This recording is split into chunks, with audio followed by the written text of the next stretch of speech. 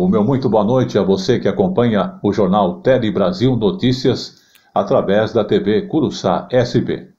Queremos cumprimentar você, pai, mãe de aluno que acompanha aí no ginásio de esportes e você que acompanha também em sua residência através do canal 17, o IPTV da TV Curuçá SP.